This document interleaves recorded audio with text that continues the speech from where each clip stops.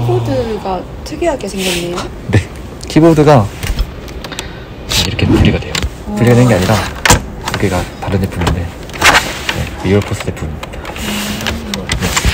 네. 이거는 그냥 뭐 제 욕심인데 아이폰 프로 안 써도 되지만 프로 사고 싶은 그런 네, 마음. 그러면 얼마 정도 하나요?